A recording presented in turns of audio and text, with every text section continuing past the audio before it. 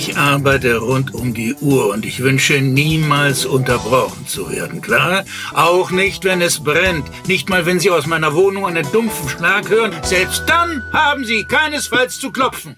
Herzlich willkommen. Ja. Schön, dass es geklappt hat.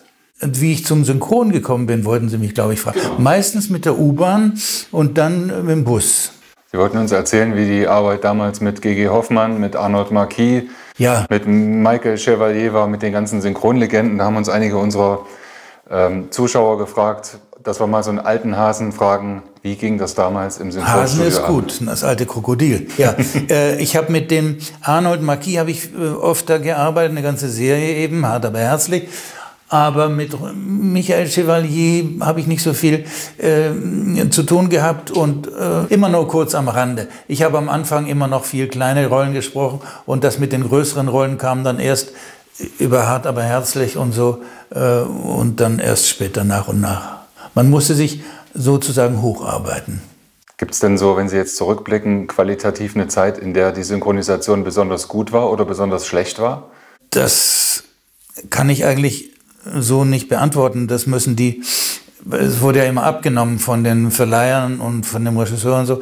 Ähm, natürlich war es damals intensiv. Wir haben, aber das haben ja auch die Kollegen in, äh, ja auch Ihnen schon äh, bezeugt, dass äh, weniger gearbeitet wurde, langsamer. Man hatte mehr Zeit.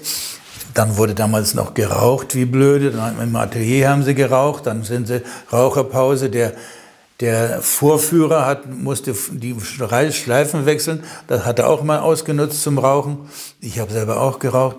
Und also insgesamt war das die Arbeit schon angenehmer. Ich habe dann selber erlebt, als ich irgendwann, wir saßen immer zu zehnt oder so vor dem Mikro oder draußen warteten wir und irgendwann sitzen acht oder zehn Leute draußen im Warteraum und sagen, was ist denn los? Ich bin noch dran, glaube ich. Ja, aber du bist, musst nicht rein. Sag ich, was heißt, ich muss nicht rein? Bin ich umgesetzt? Nein, wir nehmen einzeln auf. Sag ich, was? Das waren die Amerikaner, haben das eingeführt. Ja, wir nehmen jeden Einzelnen auf. Du bist nachher dran. Das kann nicht wahr sein. Das habe ich erlebt, diesen Anfang von jedem Einzelnen. Die Amerikaner haben gesagt, weil jede Spur muss einzeln aufgenommen werden. Und da fing das an. Da war noch nicht so extrem wie heute, dass man wirklich absolut, denn das hilft schon, wenn man einen Dialog hat und man nimmt ab, das hilft schon. Ich bewundere die Regisseure, die damals, da gab es noch, keine, äh, noch keinen Anschluss wie heute, da hört man ja den Anschluss heute, aber damals nicht. Der musste im Ohr haben, wie der Kollege vor 14 Tagen den Satz aufgehört hat. Bewundere ich die damaligen Synchronregisseure. Und äh, dann war natürlich, hat es auch Nachteile gehabt. Neben mir stand dann ein, einer, ein älterer Kollege dann am Pult und wenn ich den Mund aufgemacht habe, hat der gesagt, Das war so ermutigend, äh, dass man schreiend nach Hause gehen wollte, aber man hat durchgehalten, das härtet ab. Und äh, dann natürlich, was ja auch bekannt ist, dass bei so vielen Leuten verspricht sich immer einer oder macht ein kleines Geräusch nebenher, musste nochmal gemacht werden. Aber das war ich gewohnt. Ich habe in Hannover gelernt, da habe ich kurze Filme besprochen so zehn Minuten Filme. Und wenn ich da mich in der letzten Minute versprochen habe, musste ich den ganzen Film nochmal aufnehmen. Und das ist eine harte Schule gewesen, aber es hat geholfen. Jack Nicholson, Anthony Hopkins, Dennis Hopper, Harvey Keitel, Dustin Hoffman, Jean Reno, Robert Wagner und viele, viele tolle Schauspieler mehr, die Sie synchronisiert haben. Welcher Ihrer sogenannten Feststimmen, wenn man das heute so sagen darf, wo liegen Sie am meisten drauf? Das kann ich nicht beurteilen. Ich habe zum Beispiel gesagt, wir kommen vielleicht später noch darauf auf das Thema. Ich schätze den Anthony Hopkins so unendlich. Ich kniee nieder, wenn der spricht. Wenn der nur den Mund aufmacht, dann kommt eine Welt, eine Geisteswelt raus, weil er so viel Schwingungen hat in jedem Wort, in jeder Stimmung. Das kann man nicht. Ich habe immer gesagt, ich äh, säge den eigenen Ast ab, auf dem ich sitze. Lass den doch original. Der ist so grandios, der ist so gut den würde ich doch original lassen. Nein, haben gesagt, nein, nein, du musst den Sprechen synchronisieren. Ich fand, äh, ich passe nicht drauf. Andere haben gesagt, doch, du machst das. Ja, ich mach das. Aber, und dann kam, ein paar Jahre später, sagte der Chef damals noch, der Herr Lüdecke, der sagte, äh, da kommt ein Film mit äh, Anthony Hopkins. Auch prima, wunderbar. Ja, aber Sie sprechen ihn nicht. Sie machen Regie. Das nennt man ein unmoralisches Angebot. Und dann habe ich dreimal geschluckt und dann sage ich, wer spricht den? Ja, äh, ein ganz reizender Kollege. Rehm, Rehm, wie hat er gesprochen? Also, ich habe mich damit abgefunden. Der Kollege kam. Ich fand ihn wunderbar. Der hatte das Timbre im Hals. Das kann man nicht herstellen. Das muss man haben. Der hatte genau das Timbre im Hals. Äh, Reck, Hartmut Reck. Der war auf der gleichen Schauspielschule wie ich und ich habe mich gefreut, ein ganz sympathischer Kollege. Ich habe mich gefreut, dachte, der ist toll, der liegt genau drauf, das Timbre und wunderbar. Und wir kamen gut miteinander aus, bis auf diese, diese Tante, die, äh, die Supervisorin in Amerika, die Frau Gewürzmann, hoffentlich, hoffentlich hört sie es mit, die hat mich an anderer Stelle auch geärgert. Die hat sich jede Nacht angehört, was wir aufgenommen haben. Und dann hat sie gesagt, nee, nee, die, wenn er die drei Stufen hochgeht, muss er in der dritten Stufe äh, stärker atmen. Das ist zu wenig. Dann hat sie mir dauernd Retext nachgeschickt. Jedenfalls, Lange Rede, kurzer Sinn. Ich hab, fand den prima, den Hartmut Dreck. Und dann geht er auf Tournee und kommt von der Tournee wieder und stirbt. Jetzt gab es wieder keinen Anthony Hopkins. Und dann hat man mich wieder angefragt, ob ich nochmal Anthony Hopkins. Und seitdem spreche ich ihn durchgehend. Äh, Wie war das denn? Hat sich das denn finanziell besser ausgezahlt, dass Sie Regie gemacht haben oder hätten Sie beim Sprechen mehr Geld verdient? Da habe ich gar nicht so drauf geachtet. Äh, Gefühlt mehr bei der Regie oder mehr beim Sprechen? Nee, weil ich wollte nicht wegen Geld, ich wollte mehr Verantwortung haben. Okay. Äh, das hat mir dann schon gefallen.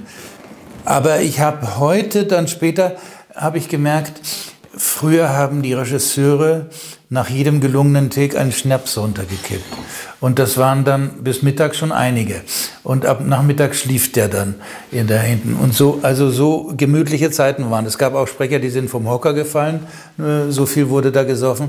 Also die Zeiten sind vorbei. Es wurde ja auch vor dem Mikro geraucht. Äh, ich habe heute meinem Freund und Schüler äh, Dietmar Wunder gesagt, ich glaube, das darf ich sagen, Dietmar, nicht?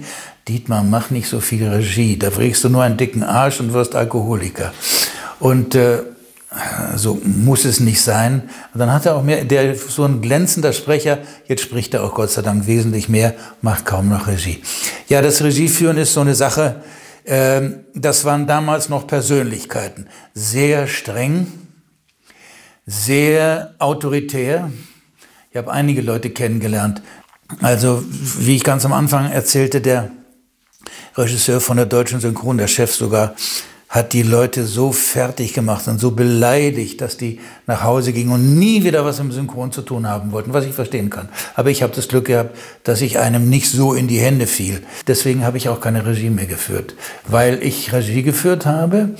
In Hart aber herzlich wurde danach drei Spielfilme gemacht, drei Spielfilme mit deutscher Beteiligung bezahlt und jeweils ein deutscher Star dabei. Einmal die Riemann, einmal der Koch und, äh, und dann habe ich kleine leise Gespräche, haben mit den Dialogregie geführt und so, das war schön. Und da, da, das, das ist meine Stärke, kleine Dialogregie und so ganz leise. Und dann komme ich in die Mischung, höre mir die, dann kommt die Stelle, wo die sich leise unterhalten.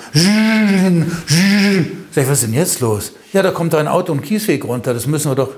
Sag ich aber doch nicht so laut, kann man das. Die Amerikaner schreiben das vor, das Auto muss so laut sein. Also da hat jeder Musiker ist in der Gewerkschaft, jeder Geräuschemacher ist in der Gewerkschaft und hat viel mehr Macht als wir kleinen deutschen Pups-Schauspieler. So. Jetzt haben wir gerade über Regie gesprochen. Wie schafft man das denn als Regisseur, da aus dem Synchronschauspieler, der vor dem Mikrofon steht und aufgeregt ist, vielleicht da den so zu führen, dass er das Beste gibt, was er sich vorstellt, also was er kann. Wie, wie haben Sie das gemacht? Wie schafft man das? Geduld. Geduld und Loben. Äh, mit Loben, da, nach der Maueröffnung kamen viele Kollegen aus dem Osten und haben versucht, Fuß zu fassen im Synchron. Und da kamen auch mir Unbekannte viele. Und da sage ich, prima, war prima. Heute sind die Stars. Äh, prima, schön, hat mir gut gefallen. Dann kam der nächste, prima, sehr gut, war gut. Und dann, und bei der Katrin habe ich gesagt, das können wir doch hinziehen, das können wir doch machen. Und nochmal der nächste, und das kriegen sie doch hin, nicht mal ziehen. Und irgendwann dreht die sich um, hier wird jedes Arschloch gelobt, nur ich nicht. Das fand ich so treffend. Recht hatte sie. Dann habe ich dann sie auch zwischendurch immer wieder gelobt, weil Lob baut ja auf. Das, das kenne ich auch schon als Jugendlicher und äh, Kindheit. So habe ich überhaupt den Beruf ergriffen, dass ich gelobt wurde beim Gedichte oder Balladen vorlesen. Und dann denkt man, oh, Lob bekommen. Wie kriegst du das nochmal? Das äh, sage ich immer auch vielen Eltern. Lobt eure Kinder, dann bleibt was hängen. Jack Nicholson und Dennis Hopper spielen ja oft ganz, ganz miese, petrische Rollen. Ähm, ist das eine Sache, die Ihnen leicht fällt? Machen Sie sowas lieber, als so, so eine allglatten Charaktere zu, zu spielen bzw. zu sprechen? Ja, ja, das ist schon aufregend, obwohl ich eine Hassliebe zu Jack Nicholson habe. Ähm, also dann habe ich, ich weiß nicht, ob ich ihn schon mal gesprochen habe, und dann kam Joe als Joker dann, wie hieß Also ich habe ihn gesprochen in Hexen von Eastwick und dann kam ein Regisseur auf mich zu, der ist, kommt als Joker, in Batman, richtig, als Joker. Und dann habe ich mir den Film angesehen, was man damals auch nicht durfte. Man durfte einmal im Studio in der Firma den Film ansehen. Und jedenfalls äh, dachte ich, das hat mir gar nicht gefallen. Das hat so einen Affen gemacht. Und dann später genauso. Aber ich habe ihn dann doch schätzen gelernt. Der hat halt eine Palette, eine Bandbreite. Das ist ungeheuerlich. Ich habe ja damals wie heißt der berühmte Film von mit Jack Nicholson, wo er, wo er den Killer spielt im Hotel? Ja, sag Diese, mal, wo er mit der Axt durch die Tür haut. Visage, richtig. Da war ich mit beim Probesprechen. Das, da hat allein der Hoffmann, glaube ich, die, der Kurt Hoffmann, die deutsche Synchronregie gemacht. Da haben die so viel Geld ausgegeben, nur für das Casting von den Schauspielern. Später hat ein ganzer Film so viel gekostet. Jedenfalls, da habe ich eine kleine Rolle mitgesprochen in dem Film. Wie hieß denn der? Gucken wir, beide kommen wir nicht drauf. Äh, ich habe gesagt, ich bin vergesslich, jetzt sind Sie das auch. Okay. Ähm, und da habe ich gemerkt, dass das für ein toller Schauspieler ist. Später, als ich ihn dann in immer mehr Filmen gesprochen habe, merke ich, dass er auch Schubladen hat. Der, der weiß so sicher, was er kann, wie er dem Regisseur um Finger wickeln kann. Der hat keinen Meister gefunden. Der hat immer gemacht, was er wollte, einen Affen rausgedacht. Dann kam ein Film mit äh, ziemlich spät, The Gang oder sowas. Da haben sie gesagt, das war prominent besetzt, aber da kommt doch keiner ins Kino. Da muss man auch einen Prominenten. Dann haben sie Nicholson geholt, nur damit er aufs Plakat ist und seinen Namen. Und dann hat er gleich die 20-fache Gage verlangt. Das war ja kurz nachdem er gesagt hat, ich kann eine blinde Oma spielen, die in der Ecke hockt, kriege ich immer noch meine 9 Millionen. Hat Aber er sich über die Jahre schauspielerisch entwickelt, Jack Nicholson? Das kann ich nicht so beurteilen. Aber ich fand ihn eben in äh, About Schmidt so großartig, dass er wieder ganz anders sein konnte. Ich habe neulich auch, glaube ich, über ihn eine Dokumentation gesehen, was die alles vorher gemacht haben und bis die da rankamen an die Rolle, die müssen schon einiges leisten in Hollywood, bevor man die auf sie setzt. Und dann ein zweites Mal. Der erste Erfolg ist leicht, das, der machen viele. Aber der zweite, der dritte und den wiederholen. Also er ist ganz großartig, hat eine tolle Möglichkeit und tolle Mittel aber er ist äh, eine sehr, sehr, ähm, naja, ist ja jetzt auch dement leider und deswegen dreht er auch seit 10, 12 Jahren nichts. Und dadurch bin ich auch arbeitslos. Ich muss jetzt auch, ich muss heute noch zum Stempeln gehen oder äh, jedenfalls dreht er leider nicht mehr, aber er hat großes, großen Spaß gemacht, ihn, ihn zu äh, sprechen, weil er jedes Mal anders war. Sie haben ja De Niro in sechs Filmen gesprochen unter anderem äh, in Es war einmal in Amerika und haben ihn da persönlich getroffen. Erzählen Sie mal von der Begegnung. Ja, äh, das war eine tolle Arbeit. Ich weiß gar nicht, welcher Regisseur das war. Da war ich sehr happy. Und äh, da war der Kollege gerade in Amerika, hat da wohl auch Theater gespielt und sowas. Und ich spielte am Kurfürstendamm-Theater und irgendein Stück, wo ich furchtbar viel schreien musste und war ziemlich heiser. Und da klang ich dann so ähnlich wie die andere deutsche Stimme von äh, Robert De Niro. Und dann haben sie mich genommen und, äh, und so, ja, gut, mach mal weiter und so. Und dann kamen noch andere Filme. Aber der Film, es war in Amerika, hat großen Spaß gemacht. Den hat der Filmemacher Ottokar Runze gemacht. Und daneben mir sprach auch noch Horst Buchholz und also war hoch besetzt. Und äh, dann kam der, dann hieß es Sergio Leone, kommt mit Robert De Niro und äh, möchte die deutschen Stimmen kennenlernen. In so einer typisch Berliner Kneipe saßen wir 30 Leute und der Robert De Niro kommt rein. Hi. Und so, das ist der German Voice. Hi. Das ist der German Director. Hi. So, es war, da sagt er 30 Mal Hi, hat sich wieder mit der äh, Agentin unterhalten und was er wohl bestellen soll und was er isst und was zu empfehlen ist. Das war's. Mehr war es nicht. Ja. Klingt spektakulär, dass Sie ihn getroffen Und dann haben. später was- wurde ich auch nochmal gefragt, ob ich kommen möchte. Robert, äh, der Nicholson ist da. Da hat er auch einen Film vorgeführt und da war ich auch mit in dieser Deutschland-Premiere da. Und dann hat er sich verbeugt und das ist auch so ein prima Film, da war er auch entzückend, wo er so im Hemd rumrennt und sich in die Mutter verliebt oder bei der Mutter hängen bleibt. Er hat es eigentlich auf die Tochter abgesehen, bleibt aber bei der Mutter hängen. Mit der war er dann auch privat liiert. Und äh, da hat, hat mich auch die Rase mal gefragt, leider ist sie tot, willst du mitkommen zu, äh, dann wir treffen ihn vielleicht in Nickel, sage ich, nee, ich weiß ja, wie das zugeht. Große Runde, hi, hi, dazu muss ich nicht stundenlang warten und dann meinen Kotau machen. Den französischen Schauspieler Jean Reno synchronisieren Sie seit Léon der Profi von Luc Besson. In dem Film ist er ja ein eher wortkarger Zeitgenosse.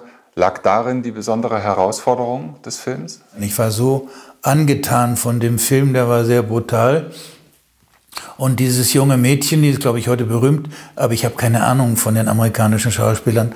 Äh, die kennen mich ja auch nicht.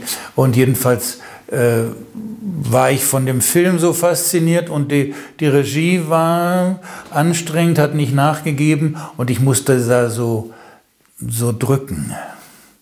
Also Wurde ich, künstlich nachgeholfen oder haben ja, Sie natürlich. nochmal? Ich kann Ihnen ja da auch was erzählen von wegen Drücken mit dem Dustin Hoffmann.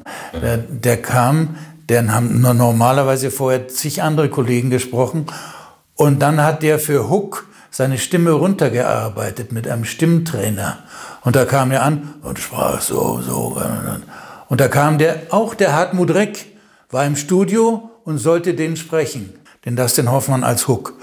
Und da war auch diese Tante, die amerikanische Gewürzfrau, Gewürzmann, im Studio und die hat gesagt, nee, mach ich nicht mit, ich ging nach Hause. Und dann kriege ich einen Anruf, Joachim, kannst du mal schnell kommen, kannst du mal schnell kommen. Die Gewürzmann hat den nach Hause geschickt oder der ist nach Hause gegangen und so, wollen wir es mal probieren. Da dachte ich, ja gut, fahr schnell hin und habe es probiert.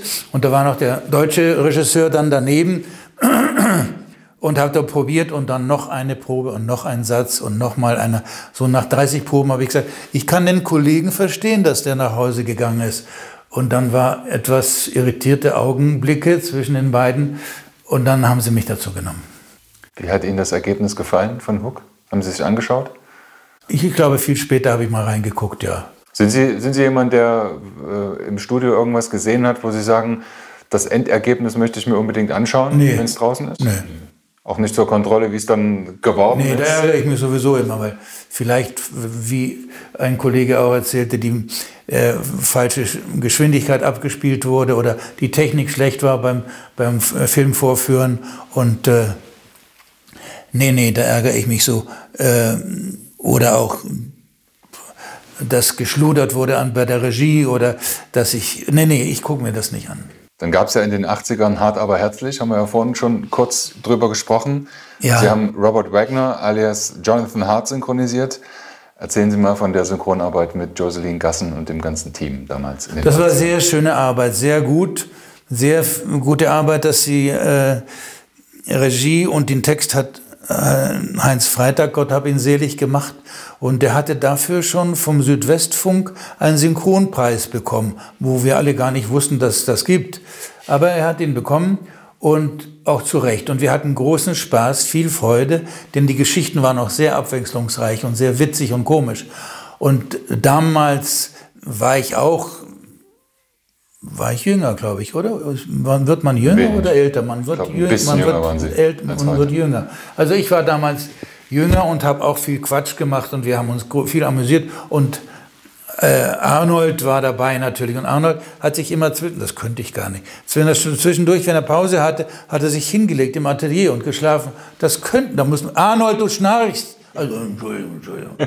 Der hat den Max gesprochen. Ja, genau. Entzückend war das, entzückend. Und mit dem kleinen Hund da, mit dem, Ging Ihnen das Rumgetortel von Jonathan und Jennifer auf die Nerven oder gehörte das irgendwie einfach mit dazu? Das gehörte mit dazu, aber wir haben ja nicht selber getortelt im Atelier, sondern das war ja, äh, es ist ja alles Gott sei Dank beruflich. Wir sind der Schauspieler. Anthony Hopkins haben Sie zuletzt 2019 in Die zwei Päpste gesprochen. Wie fanden Sie Hopkins als Papst Benedikt? Ja, toll. Ich fand ihn toll. Also ich finde ihn sowieso so gut, äh, grandios. Ich habe ihn ja vorher, das war eigentlich fast ein Höhepunkt meines Synchronschaffens, als King Lear in einer tollen, mit einem englischen Schauspielern alles, äh, großartige Theaterschauspieler, die haben da mitgespielt, aber es war modernisiert. Es kommen keine Soldaten her, beritten, sondern Lastwagen kommen mit Soldaten und so. Es war toll gemacht.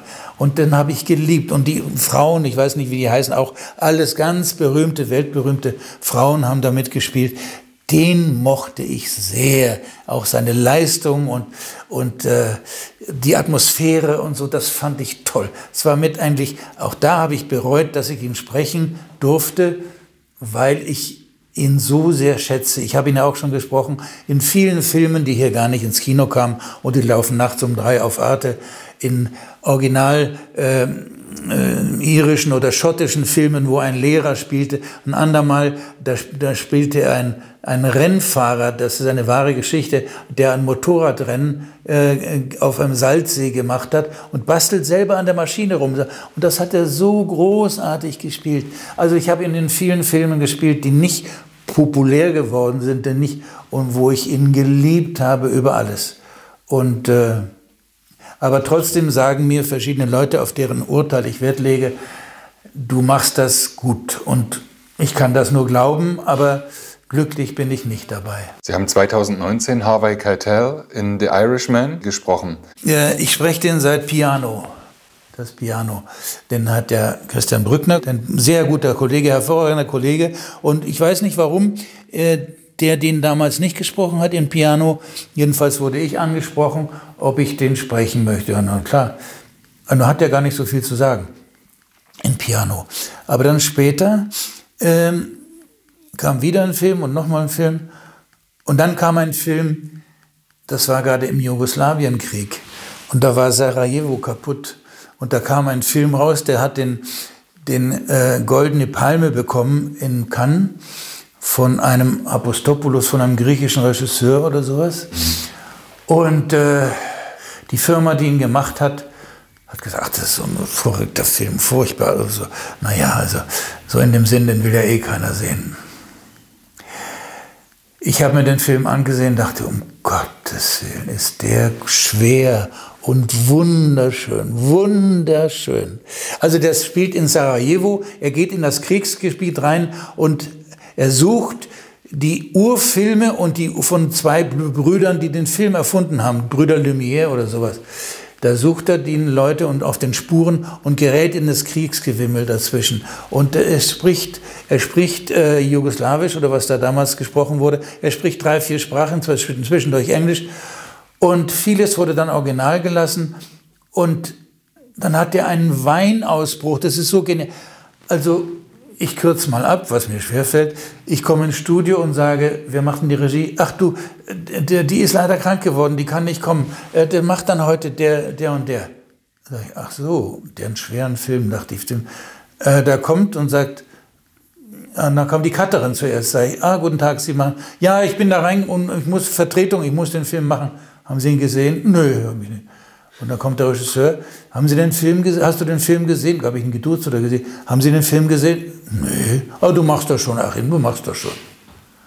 Ich war verzweifelt. So ein schwerer Film. Wurde so, dann noch ist der Film mit, es war im Winter, mit Lastwagen nach München gebracht worden zum Schneiden und dann wurde mir gesagt, und dann habe ich gesagt, der Supervisorin, die ich zufällig in München getroffen habe, bei der Aufnahme, wie die den Film ähm, behandeln, das ist eine Schande. Es tat mir so leid, ich will den Film so wunderbar. Sagt sie, ja, stellen Sie sich vor, der Lastwagen ist auch noch in Schneewehen hängen geblieben, wir konnten nicht rechtzeitig schneiden und so weiter. Also der Film hat bis zum Schluss Pech gehabt. Und dann lief er auch, glaube ich, irgendwann nachts um drei auf Arte. Aber das war ein Höhepunkt des Keitelschens Schaffens. Und das, eine Münchner, Münchner Aufnahmeleiterin, muss ich noch schnell dranhängen, hat gesagt, Sie, Herr Kerstel, da kommt wieder ein Film mit Harvey Kittel. Harvey Kittel, wen meint sie denn? Ach, Keitel. Ah, ja gut, ich bin bereit. Und so. Ihr Kollege Lutz Riedel hat mal in einem Interview von uns gesagt zum Thema Hörbuch, es ist schlechte Luft, dir tut der Arsch weh, es ist schlecht bezahlt, aber es macht verdammt viel Spaß. Können Sie das bestätigen? Da hat er recht, da hat er recht. Mein erstes Hörbuch habe ich dann noch am Land gemacht. Das war in so einem Bauernhaus. Und da hatte ich eine Woche Zeit für. Ich hatte man am Anfang so ein paar, äh, wie hier heißt Stephen King, Stephen King Dinger da. Ja. Und da habe ich dann gemacht und gelesen, Kurzgeschichten, lange Geschichten, ganz Roman. Und die sind doch immer so grausam. Ja, ich gesagt, du, ich kann es nicht, ich träume davon. Ich träume schlecht von diesem grauenvollen Kinder im, im, im Weizenfeld und die, werden, die äh, verirren sich und werden halb ermordet und gesperrt. Ich kann das nicht mehr. Ich habe Albträume. Ja, und dann haben wir gesagt, da haben wir was für dich, das interessiert dich vielleicht, das waren die Säulen der Erde. Und da habe ich mich sehr gefreut, habe mich lange vorbereitet, habe mir das Buch über Kathedralen gekauft, habe vollkommen durchgelesen, das Buch, was auch ganz selten gibt heutzutage, denn das wird natürlich gestrichen. Aber das, was ich dann bekomme, ist höchstens ein Drittel. Also ich muss doch wissen, was sie dazwischen getan hat. Und das war noch eine Dame, die war... Äh, Feministin bei der Brigitte und die hat alle erotischen Szenen rausgestrichen und das war so toll beschrieben. Erotische mittelalterliche Szenen. Geschmackvoll, aber saftig, kräftig. Das hat die alles weggestrichen. Und das war, das habe ich ja dann erst gemerkt, als ich's, äh, weil ich es ganz gelesen habe. Aber wir konnten, wir durften dann nichts mehr ändern an der Endfassung für das Buch. Und dann, seitdem habe ich noch die anderen drei Bücher. Jetzt das letzte Buch, das habe ich abgelehnt. Das ist interessant, weil er sagt, jetzt schreibt er ein Buch, wie er dazu kam, die Säulen der Erde zu schreiben. Weil das sein erfolgreichstes Buch ist, hat er auch woanders, bei was ich neulich gelesen habe, ein, ein, so eine Art Feature über Notre Dame. Da ist er hingereist und hat geschrieben, ja, ich weiß ja genau Bescheid. Ich habe mein erfolgreichstes Buch, war ja Säulen der Erde, hat er wieder Werbung für sich gemacht. Und äh, das war es wirklich und da bin ich auch froh. Die haben das ja noch als Hörspiel für, für, für viel Geld beim Westdeutschen Rundfunk.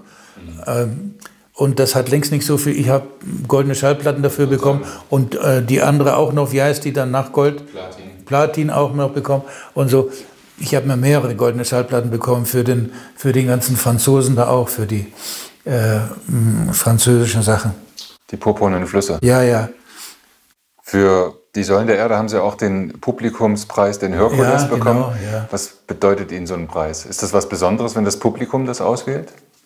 Ja, ich wusste gar nicht, dass es sowas gibt, aber mh, mm, da hatte ich ja schon einiges äh, gelesen und geleistet und so. Und das war eine tolle äh, Verleihung und der, äh, der, unser Dings war hier, der Thaddeus hat die Preisrede gehalten oder die Moderation gehalten. Tadeusz. Und dann habe ich nur gesagt, das war auch höchste Zeit, dass ich mal einen Preis bekomme. Die Hörspielfreunde von unseren Zuschauern kennen Sie vor allem wahrscheinlich als Erzähler der Serie Geisterjäger John Sinclair.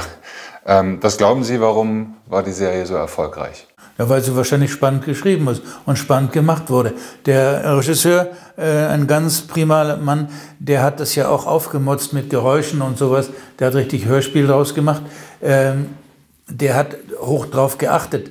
Äh, das ist ein ganz reizender Mann, jetzt macht das leider nicht mehr, oder die Serie ist eingestellt worden. Und der hat dann immer, mir, mir fällt nur bei dem Namen was ein, großartig, Achim, großartig. Da sage ich, sag bitte nicht so oft großartig, das wird inflationär.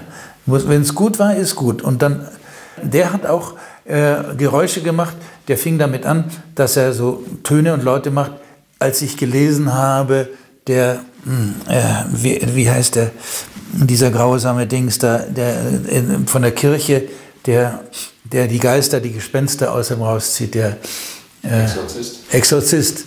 Und der hat ein, ein irres Geräusch gemacht, sag ich, du wahnsinnig, ich wäre, wenn nicht, weil er immer gesagt hat, ich sage, wer, wer, wen interessiert denn Hörbücher? Ja, die Vertreter, wenn die durch Deutschland fahren, die hören alle Hörbücher. Sag ich, da wäre ich an Baum gefahren bei dem Geräusch. Und also, so, und dann später habe ich erfahren, ich habe gewettet, dass dieses Hörbuch bald runtergeht. Kein Mensch interessiert sich für Hörbücher. Dann habe ich erfahren, meine Frau ist verwandt mit der, mit der Frau vom Kubrick, dass die Frau vom Kubrick, äh, die malte, die malt sehr schön und malte für eine Oper aus Freundschaft oder als engagiert für die Londoner Oper Bühnenbilder. Und da hat sie so riesen Flächen zu malen. Und da hat sie gesagt, in der Zeit höre ich Hörbücher. Da sage ich, guck mal, was alles gibt, wer alles Hörbücher hört. Denn ich höre keine, kann mir nichts darunter vorstellen. Ihre Frau hatte ja das Schauspielstudio Maria Körber. Wie kam es dazu?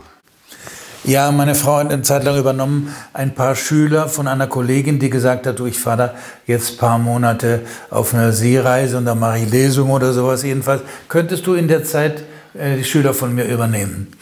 Und da hat sie gesagt, ja, mal gucken, was ich... Und die hatte wohl gerade da war sie nicht mehr am Schillertheater. Die war ja auch sechs Jahre am Schillertheater. Wir waren zusammen, wir haben auch zusammen gespielt. Wunderbar. Ehepaar haben wir gespielt am Schillertheater und einige Sachen zusammen gemacht.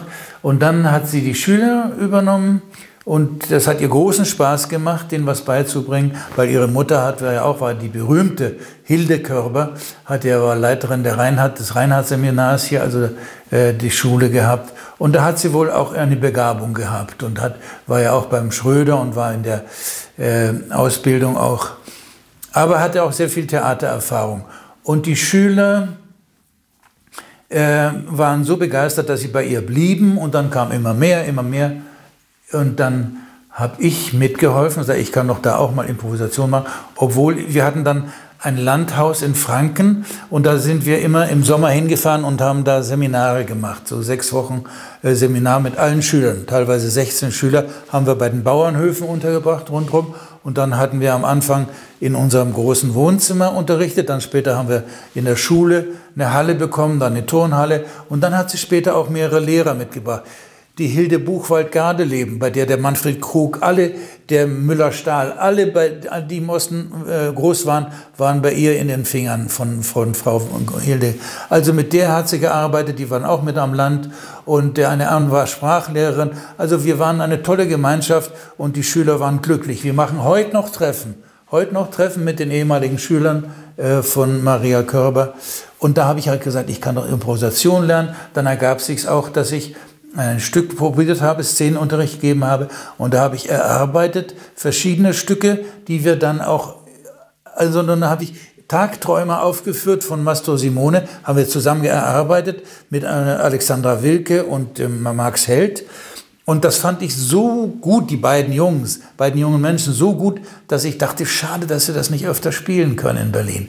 Und da habe ich ein Theater gesucht. Also erstmal habe ich, durfte ich dann in der Etage, haben wir es ein, zweimal gespielt. Und dann haben die gesagt, ja, am 19. November, am Dienstag, da könnte aber ab 18 Uhr rein. Und da war zufällig ein Artikel in der Morgenpost. Räume frei, da war früher die drei Tornados drin, so drei Kabarettisten. Der eine war der Chef von dem Tippi. Die waren da drin und haben die Räume aufgegeben. Und da sage ich, ja, und die waren zu vermieten. Und dann habe ich die gemietet, weil ich dachte, ich spiele noch ein paar Mal dieses Stück, weil das so gelungen war mit den zwei jungen Leuten. Ich fand das hübsch. Und dann haben wir gesagt, naja, dann muss man einen Mietvertrag haben. Dann haben wir einen Mietvertrag. Na, jetzt haben wir einen Raum, jetzt haben wir ein Theater am Hals, um Gottes Willen. Da habe ich einen Kollegen gebeten, sag mal, könntest du mir helfen? Wir müssen irgendwie noch einen Spielplan machen. Wir, keine, also so sind wir wie die Jungfrau zum Kind, wie man so sagt, was ich bis heute nicht verstehe, äh, zu dem Theater gekommen. Das hieß das intime Theater? Das hieß intimes Theater. Intimes Theater? Nicht das Intim, intimes Theater, weil Strindberg ein Theater hatte. Und das hieß auch intimes Theater. Außerdem war das so intim, dann habe ich für viel Geld dunkelrote Samtvorhänge. Dann habe ich für viel Geld Kinositze gekauft, alte Kinositze. Wunderbar, habe sie alle mit dunkelrotem Samt beziehen lassen und so äh, viel Geld reingesteckt. Das Ganze war überhaupt, andere gehen in die Spielbank und verspielen es oder kaufen sich ein Segelboot. Und ich habe dann bei 300.000 Mark habe ich gesagt, jetzt ist Schluss. Ich habe genug reingesteckt. Wir haben keinen großen Unterschied. Wir haben einmal einen Zuschuss bekommen vom Staat oder vom Senat. Und dann weil ich von Anfang an gesagt habe, ich möchte nicht auf Teilung spielen. Dann kommen 20 Mark rein und jeder kriegt 2,50. Das finde ich unwürdig für die Leute, die haben probiert. Und dann habe ich jedem 90 oder 80 Euro Gage gegeben. Ob Leute kamen und wir haben vor sechs Leuten gespielt. Und dann habe ich die trotzdem die Gage bezahlt, 90 Euro, und habe den vor allem gesagt, Scheunemann hat bei mir gespielt, alle haben gespielt, Susanne Bonasiewicz, ganz viele Leute haben bei mir gespielt dann. Es war immer eine ganz schöne äh, Atmosphäre. Aber dann nach und nach, als die Mauer geöffnet wurde, gingen alle an unserem Theater vorbei und in Osten, guckten alle, weil man da nicht durfte, 20 oder 40 Jahre lang. Und dann war unser Theater ziemlich leer und dann hab, kam noch haben wir noch Gastspiele genommen und dann habe ich irgendwann gesagt, du, jetzt sind 300.000 Mark, habe ich jetzt reingesteckt, jetzt reicht. Weil ich, wenn ich am Land war in Ferien und Unterricht gegeben habe, hat er mich immer noch angerufen, du, ich brauche wieder 15.000 Euro, ich brauche wieder 10.000 Euro und so. Und das habe ich, oder war das noch damals Mark? Und das habe ich dann geschickt und äh, ich habe sogar am Theater gespielt jeden Abend und dann hatten wir noch ein Nachtprogramm. In IT Bonbon habe ich das genannt. Da kamen Kabarettisten und sonst was. Und dann genau in die Zeit, war der Mauerfall. Und ich war ja direkt an der Oranienstraße, direkt an der Mauer. Wie viele der heutigen Synchronschauspieler sind denn durch Ihre Schule gegangen? Können Sie uns da ein paar Namen sagen, die Sie ausgebildet naja, haben? Naja, nicht nur Synchronschauspieler, muss ich gleich wieder äh, also auch Schauspieler ein, einhaken. Natürlich. Schauspieler. Also der, der prominenteste ist der Oliver Mommsen. Das ist mein Schatz. Der war, der ist ja überall zu sehen, macht auch Michael von Au, Gesine Krukowski, Alexa Suhold, die ist in der Serie auch schon 15, 20 Jahre in aller Freundschaft drin. Dann an, an äh, synchron bekannten Leuten Alexandra Marisa Wilke, Dietmar Wunder, Peter Flechtner, Nana Spier, Sebastian Jakob und Matthias Klee, fällt mir jetzt nur ein. Da sind aber noch etliche andere. Aber viele haben es nicht zu synchron geschafft oder haben keine Lust dazu. Ich hatte mal, als ich synchronisiert hatte und viel Regie geführt hatte, da fragte ich mal den Kollegen Bliese, den ich so sehr schätze, Herr Bliese, wollen Sie nicht auch mal synchronisieren? Ich hätte Sie so sehr gesagt, nein, das kann ich nicht. Nein, das auf, auf Knopfdruck, auf vier, meine Gefühle, das kann ich nicht. Und das finde ich ehrlich, so eine Antwort. Und es gibt wirklich viele, die das nicht rauskriegen. Sie haben ja selbst fast neun Jahre am Schillertheater und danach zehn Jahre am Boulevardtheater am Kudamm gespielt. Wie ja. unterscheidet sich Ernstes vom Boulevardtheater? Naja, also so ganz allgemein, ich hatte, muss ich sagen, ausgesprochen Pech am, am Schillertheater, am Staatstheater. Ich hatte kein Fortune. Ähm, ich habe eine Rolle bekommen, also nicht immer, aber meine erste Rolle fing schon so an, dass ich in der Werkstatt vom Schillertheater der neue Mieter spielen sollte. Das war ein Einakter. Und daneben war das letzte Band mit Martin Held, Regie äh, Beckett selbst. Ich stand noch mit Beckett vor der Tür, habe gewartet. Mensch, mit Held zusammen eine Uraufführung vom letzten Band mit Beckett ins Da kommt die Weltpresse. Der hat allein gespielt, weil unsere Premiere verschoben wurde. War das erste Pech. Dann ein Klassiker. Dann haben wir probiert, ein halbes Jahr probiert. Bei Lietzau, der hat ein halbes Jahr probiert, wie Kortner. Und eine Woche davor ist die Hauptdarstellerin krank geworden. Dann andere Mal ähm, auch wieder eine schöne Rolle bekommen mit zwei Radats und Willi Schmidt, äh, nicht Willi Schmidt, das war Professor Willi Schmidt, ein sehr schätzenswerter Mann. Äh, Schmidt, also Kollege Schmidt, die kamen auf die Bühne, ich habe eine kleine Rolle gespielt, glaube ich, von, so, von Sonnenuntergang von Hauptmann und so. So ein junger Regisseur war das, der kam mit Büchern, Sekundärmaterial. Der bringt Bücher mit, na, der muss es nötig haben. So haben die den fertig gemacht. Oh, das muss man nicht schneiden. Jedenfalls, ich, ein Stück nach dem anderen hatte ich Pech, richtig Pech. Und dann, man, ja gut, schön und gut, man bekommt bezahlt. Und dann hatte ich nach so viel Ausfällen und Rückstellungen und so viel äh, ähm, ich kam nicht genug, ich war voller Saft und Kraft und wollte arbeiten. Ich hab nicht, kon konnte nicht, nicht, genug arbeiten. Und dann habe ich gesagt, ich gehe jetzt. Und da war der Intendantenwechsel. Da kam der Gubert. Und mein Kollege, Kollege Klaus Helm hat gesagt, ich möchte nicht als Möbel übernommen werden. Und den Spruch fand ich so toll, das habe ich ihm auch geschrieben, ich möchte nicht als Möbel übernommen werden. Ich gehe weg, als Gubert kam. Und dann bin ich äh, am Kudamm-Theater gelandet, gleich mit offenen Armen angenommen worden von dem Wolfgang Spier, damals der Boulevardkönig. Und der hat mich ganz herzlich, war überhaupt ein ganz liebenswerter Mensch, ganz herzlich empfangen und hat mit mir, hat mir eine Rolle nach der anderen gegeben. Es waren nie Hauptrollen, so wie sie Junke gespielt hat oder Pfitzmann, aber immer so in der zweiten Reihe.